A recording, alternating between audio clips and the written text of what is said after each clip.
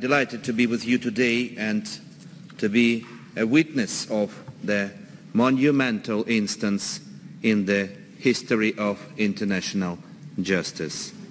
The issuance of an arrest warrant against Putin by pre-trial chamber of the International Criminal Court is nothing else but the unequivocal affirmation that notwithstanding all the pressure and attempts of disruption of the international justice system, the Office of Prosecutor and the Court stand as guardians of justice and those that allow themselves to commit international crimes will not go unpunished. Russia acts with a clear plan to destroy Ukraine and Ukrainian identity.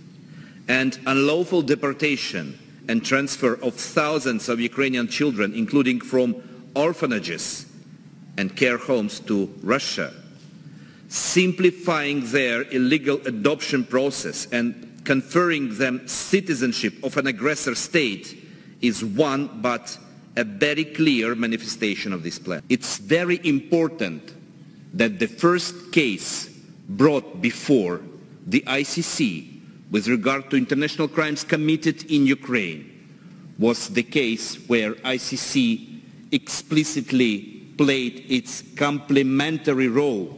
Simultaneously, we should not allow for the crime of aggression to go unpunished.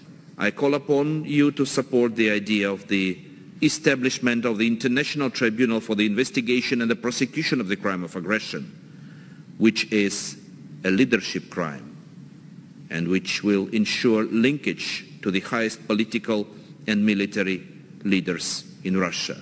I would like to conclude with the quote of President Eisenhower. He said, peace and justice are two sides of the same coin. To achieve one, we have to attain the other. There is no fair and equitable world without justice.